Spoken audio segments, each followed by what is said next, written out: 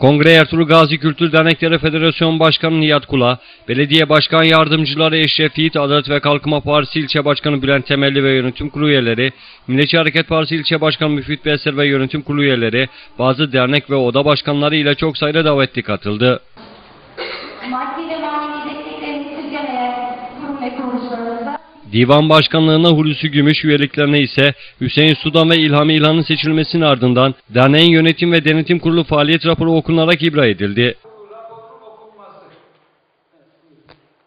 Teşekkür konuşması yapan İnegöl Ertuğrul Gazi Kültür ve Yaşatma Dernek Başkanı Cafer Atan, derneğin 1998 yılından bu yana faaliyet gösterdiğini belirtti. Derneğimiz 1998 yılından beri faaliyette ve bu 16 yılda birçok başkan yönetici geldi geçti.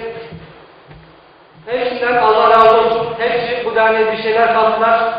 Bir emek harcadılar.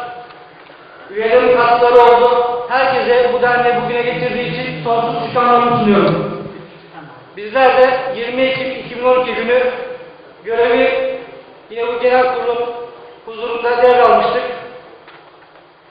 O gün hem derneğimiz için hem İnegöl için aslında bir devrimdi.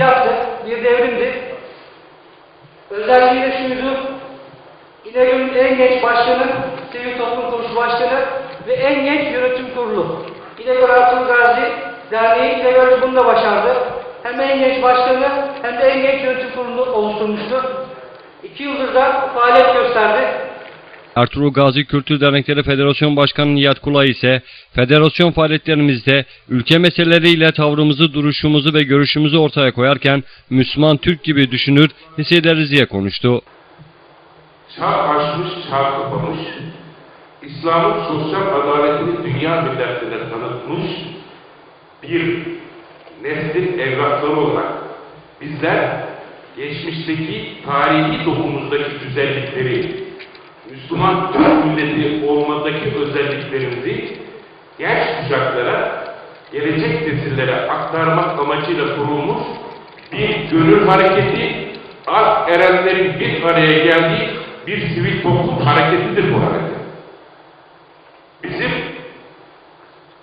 dernek faaliyetlerimizde ve de federasyon faaliyetlerimizde ülke meseleleriyle ilgili tavrımızı, duruşumuzu ve görüşümüzü ortaya koyarken Müslüman Türk gibi düşünür, Müslüman Türk gibi hisseder ve Müslüman Türk'ün acısını ciğerinde hissederek tavır koyar.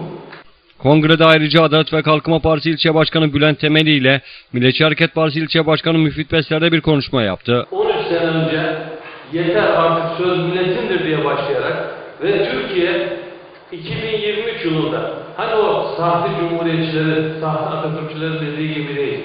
Gerçekten gecesini gündüzüne katan 76 milyon insanın hedefi olan o rahmetli Atatürk'ün kurduğu ve emanet ettiği Cumhuriyetimizin 100. yılına yani 2023 yılına dünyanın ekonomisiyle, demokrasiyle, özgürlükleriyle lider ülke olarak ilk 10 ülke içerisinde girmek gibi bir hedefi var. Bu elhamdülillah artık sivil toplum kuruluşlarımız başta olmak üzere hatta işletmelerimizin, orta ve küçük boy işletmelerimizin dahi hedefine haline gelmiş bir hedef.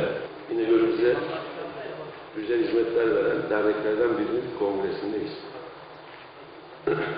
Süreç sıkıntılı ama Bülent Başkan'ın anlattığı gibi de değil. Onun için ben e, bugüne kadar bütün derneklerde başarılı görev yapan arkadaşlarımıza teşekkür ediyorum. Yeni seçilen yönetimine de başarılar diliyorum. Konuşmaların ardından yapılan açık oylama ile İnegöl Ertuğrul Gazi Kültür ve Yaşatma Derneği Başkanlığı görevine Mehmet Yılmaz getirildi. Size çok teşekkür ediyorum. Hayırlı uğurlu olsun. Yapılan açık oylama seçiminde İnegöl Ertuğrul Gazi Kültür ve Yaşatma Dernek Başkanı görevine getirilen Mehmet Yılmaz bir teşekkür konuşması yaptı. Ama Cafer Başkanım o kadar çok şey anlattı ki yaptıklarını. Ben kendimi ev ödevini hazırlamadan gelmiş bir e, öğrenci gibi hissettim. Öyle bir vizyon çizdi ki bize, herhalde bizim o vizyonu daha da ötesine taşımak zorundayız. Çünkü bu bir bayrak yarışı. Bu bayrağı aldığımız yerin daha da üstüne taşımak artık bizim vazifemiz.